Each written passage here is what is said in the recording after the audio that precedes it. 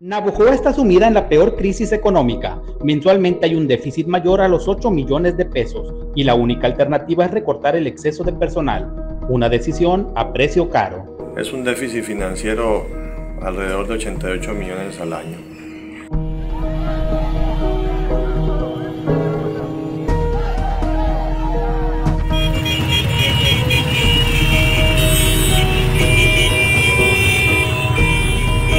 Los jefes son los que cerraron.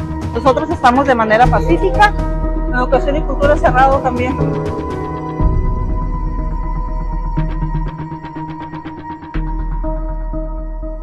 Para la clase trabajadora, el actuar del ayuntamiento ha sido calificado como un atropello a sus derechos. A 200 trabajadores les fue retirada la base sindical sin un proceso legal.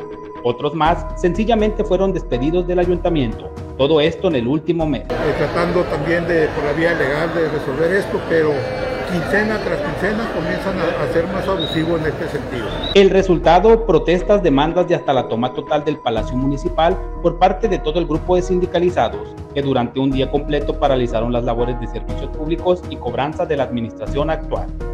Pese a la idea del ahorro, la decisión podría provocar un gasto excesivo, pues hay que tomar en cuenta el pago de liquidaciones, además de afrontar la posibilidad de demandas laborales. No, y hay que admitir que históricamente el ayuntamiento casi todas las veces estas demandas las pierde.